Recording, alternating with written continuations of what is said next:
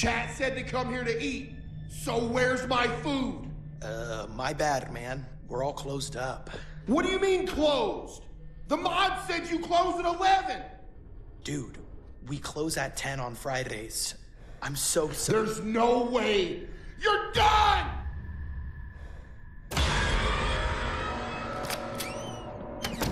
Oh, you're lucky I'm hungry. I can normally run at 40 miles an hour.